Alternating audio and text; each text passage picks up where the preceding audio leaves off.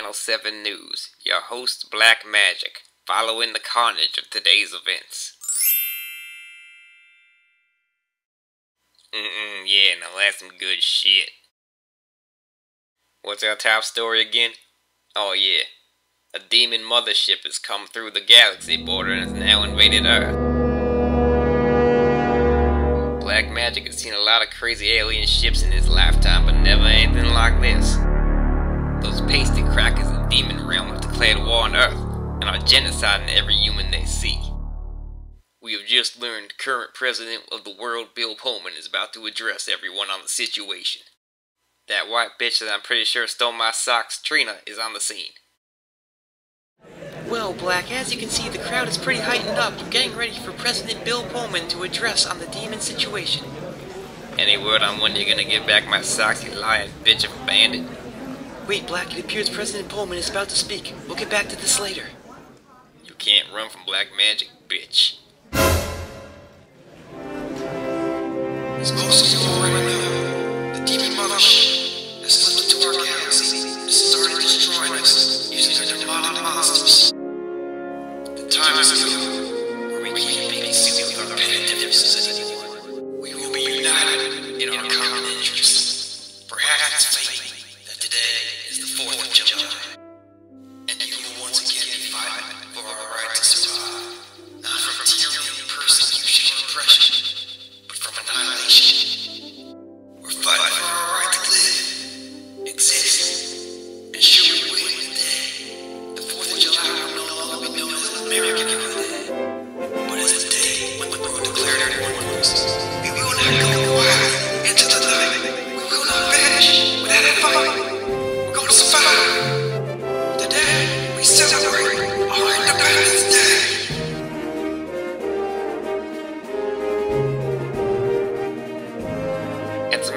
17th, you fucking goon!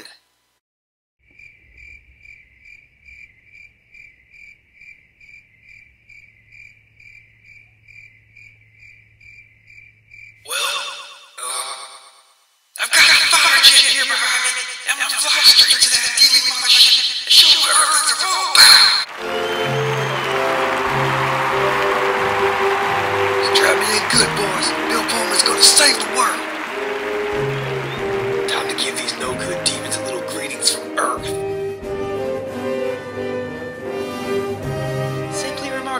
President of the Free World Bill Pullman is going to launch an aerial assault on the demon mothership by himself. I see no way in which this could go horribly wrong whatsoever.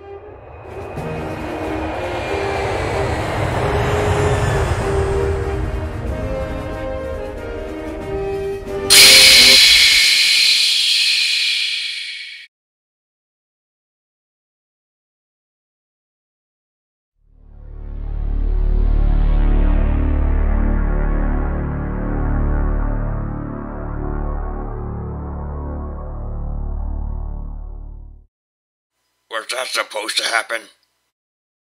No, no, it wasn't. We, uh, admit that sending the president up to fight an aerial battle alone against a giant mothership may not have been the best idea. That, uh, yeah, that one's our bad. Oops.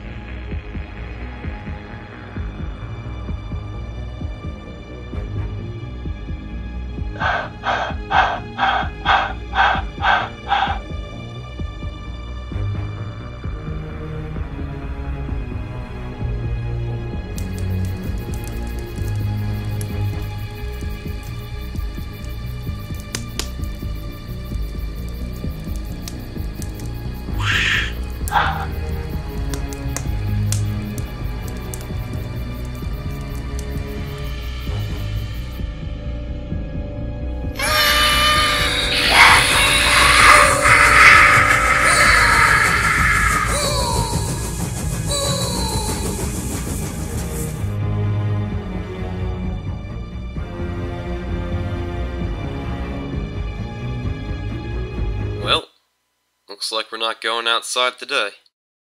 Oh, a little rain, all of a sudden you get weak ankles. Typical millennial. I'm talking about the demon genocide taking place right outside this door. Psh, you call this a demon genocide? You should have seen the one back in the 80s. Now that was a demon genocide. There were no demon genocides in the 80s. Yes, there were! Look at Mango Face trying to be all cool and refresh us on our history. Damn it, Seth, why do you follow us everywhere we go? Whoa! Seth Rollins doesn't follow anyone. Seth Rollins goes where Seth Rollins needs to go.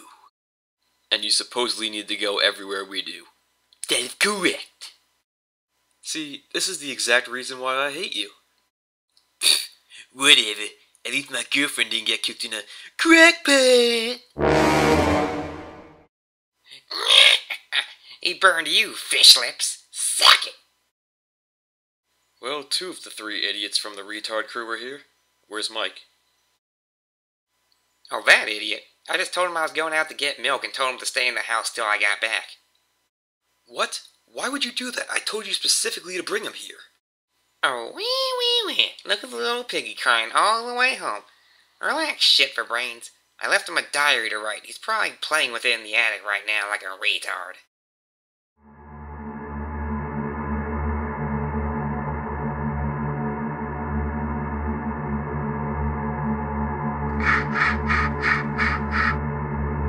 Where are the Ryans? Wozpack said they would be here. We searched the house thoroughly, Commander. There is not a sign of anyone here. We'll keep searching. We're going to find them one way or another.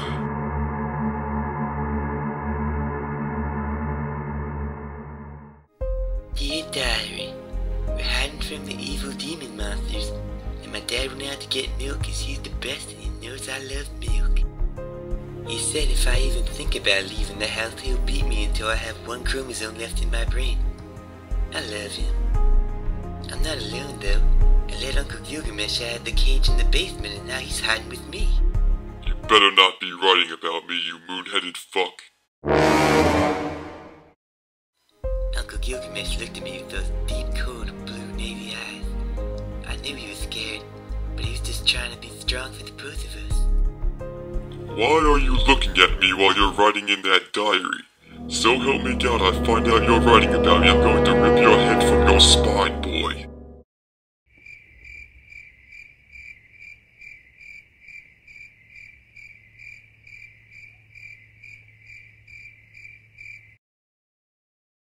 It's times like these, it doesn't matter if we're a pimple or a person. It's the size of our heart that counts. That's it, you're dead.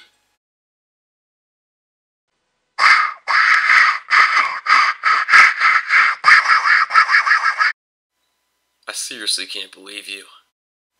I hate to be the bearer of bad news, fellas, but I don't know how much longer the spot will be safe for. More and more demons are pouring in here by the minute. Regal, look, I understand our situation, but I don't know how many are out there right now. Our best bet is just to stay put. I say, it doesn't matter how many are out there right now. There's going to be more. We have to bloody act. Well, what do you suggest then? There's a gas station approximately 200 yards from this pub. My truck is there. If we can all make it there, I can drive us out of here to safety. You're a fool, Regal. We'll never make it. I'm afraid it's the only viable option we have right now. We have to try. Billy Kidman's not afraid. Billy Kidman knows you only live once. Well, fuck off, Billy Kidman. No one asked you. Billy Kidman is the voice of the silent majority. No one gives a shit what the Cruiserweight Champion has to say. Ever. We can pull it off, gents.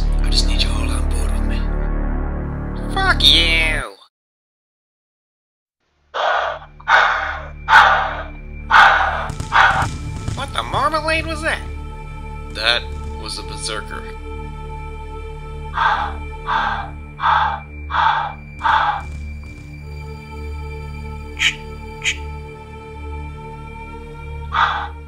Shocker fun. That thing will rip us limb from limb. There's no way we're going out there. And if we stay in here, we'll die for sure. Going out there is our only chance, boys. We're gonna make a run for it, all of us together, and we're gonna make it to that gas station, you hear me? You three blokes are gonna distract that berserker. Meanwhile, me, Edge, and Billy Kidman will get the truck. We'll swerve by and pick you up. That sounds like a really bad plan. But seeing as we don't have a better one, I guess we'll do it. Don't worry, the plan is foolproof, my friend. Ain't that right, Edge? Understand, I see clearly, everything has come to life.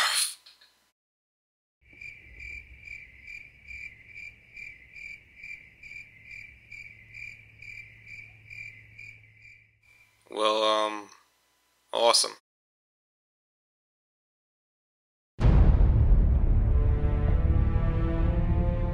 Alright, boys, the coast is clear. Let's.